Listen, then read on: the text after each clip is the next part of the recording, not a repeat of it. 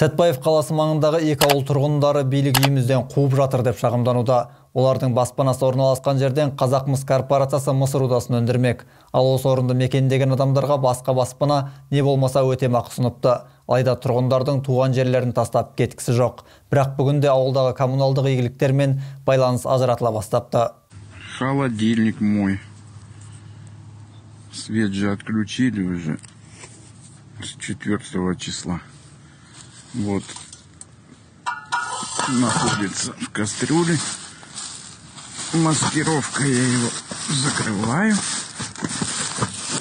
От котов котов тут много рудник кентінің тұрғыны коммуналдық игіліктерсіз қалай өмір сүріп жатқанын көрсетуде айтуынша олар бүгінде жарықсыз жылусыз сусыз өмір сүріп жатыр екен елді мекеннің жанындағы кеніште жару жұмыстары жүргізіліп соның себебінен жері де тілім тілім жарылыпты Сейчас там нету света. Ол жақта қазір байланыста жоқ, ұялы байланыстың кабелі де қиылып тасталды. Онлайн оқу кезінде балалар білім ала алмай отырды. Бізге автобуста келмейді, ауылымыз бомбаланған сияқты кейіпте. Кенттің астында мыс рудалары бар екен. Үкіметтің қаулысына сәйкес 2800 отбасы қоныс аударулары тиіс. Оларға Қазақмыс компаниясы салып берген үйлер өтемақыға берілмек. Ал ол үйлерді алғысы келмеген жандарға ақшалай өтемақы ұсынылыпты. Бүгінде кентте 40 отбасы тұрып жатыр.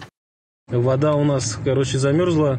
э, И горячая, и холодная. Батареи лопнули, лед расширился в них.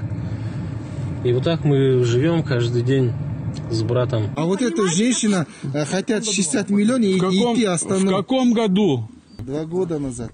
Курс меняется, цены растут, Ну, дома. вам надо было два года назад деньги брать и переселяться надо. Ну а чё ж вы? Сатпаев әкімдігі мен Тонаянц отбасының арасындағы сот 2016 жылы өтіпті. Тәуелсіз бағалаушы үйдің құны 15 миллион деп бағалаған. Әкімшіліктің бағасы 9 миллион. Ақшаны ағасының шотына аударыпты, бірақ келіншектің сөзінше бұл ақшаға үй алу мүмкін емес. Ал әкімдіктің есебі бойынша олардың үйі коммуналдық меншікке өткізілген.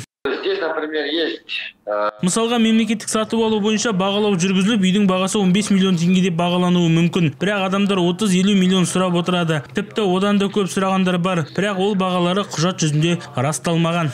Әкімшілік елді мекенде коммуналдық игіліктер бар дейді, тек гидравликалық шараларға байланысты авариялар орын алады екен. Бірақ сот шешімімен әкімшілік балансына өткен үйлердің тоқтарын шынымен өшіріпті. Себебі шенділер ол үйде адамдар заңсыз тұрып жатқан болып саналады дейді. Аян Алматұлы, Ирина Нинашева, Данил Заславский, 5 арна.